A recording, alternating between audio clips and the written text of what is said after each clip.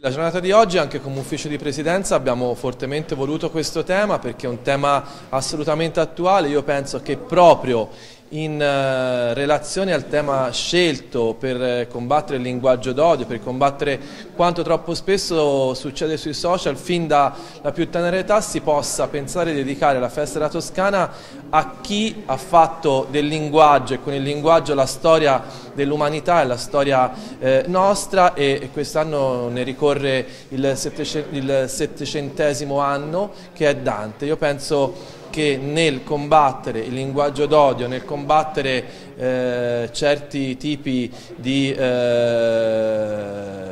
svilimento proprio della comunicazione si possa pensare a Dante che con il linguaggio ha costruito la storia del mondo e ha costruito un monumento della civiltà eh, tutta e proprio in occasione di questa